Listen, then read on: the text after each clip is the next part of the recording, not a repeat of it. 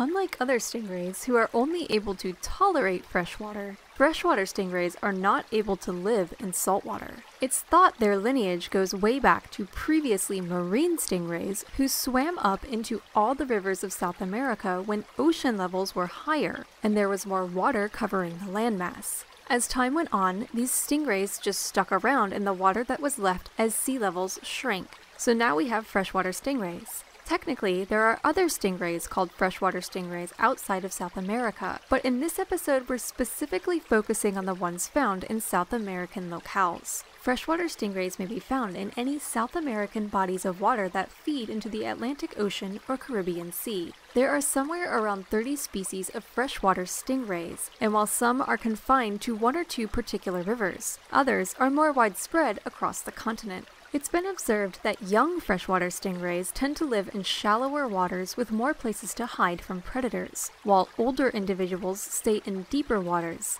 though this can vary by the species. Of course, like their marine cousins, they all tend to stay towards the bottom of the water column and burrow into the sand. Stingrays have eyes poking out of the top of their heads that give them almost 360 degree vision. A stingray's eyes will sit out of the sand while the rest of its body remains submerged. Stingrays can sit like this for hours, and breathing isn't an issue because they have spiracles behind their eyes through which they pass water down to their gills located on their undersides. Lucky for them, they have these holes in their heads, or else they'd be sucking up a lot of sand.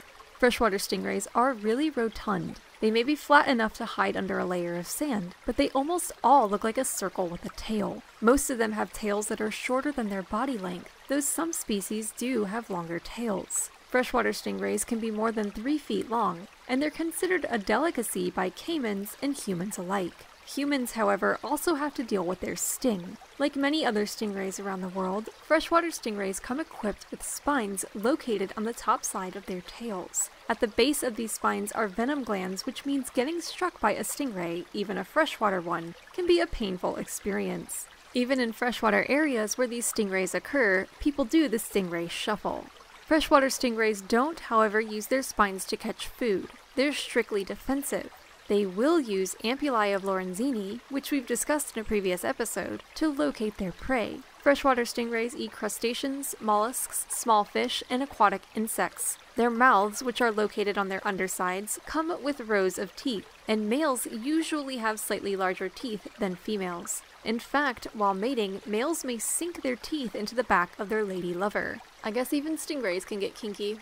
Female freshwater stingrays will gestate anywhere from 3 to 9 months. Her eggs will stay inside her body during that time and then hatch inside of her before she gives birth to live young. In some species of freshwater stingrays, the females always have an odd number of pups. How long they can live in the wild is currently unknown.